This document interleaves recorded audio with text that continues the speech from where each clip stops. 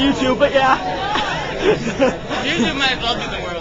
I'm at lunch, eating an apple, and I'd like to discuss with you the inner workings of an apple. You see, we'll start from the inside. How many steps there? I'm almost there. Alright. That's the core of the apple. And you the inside, the muscle, if you will, of this apple. the muscle of the apple, alright. Then there's um the skin, Okay. which is my favorite part. Oh yeah. And you have its bottom, Okay. so look, Oh, and its top.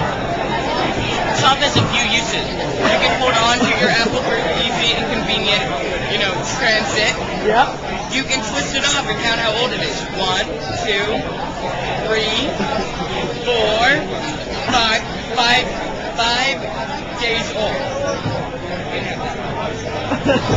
Giving it to his volunteer who believes in ghosts. So that's the inner workings of an apple. Thank, Uh, join us next week when I show you the inner workings of a kiwi. thank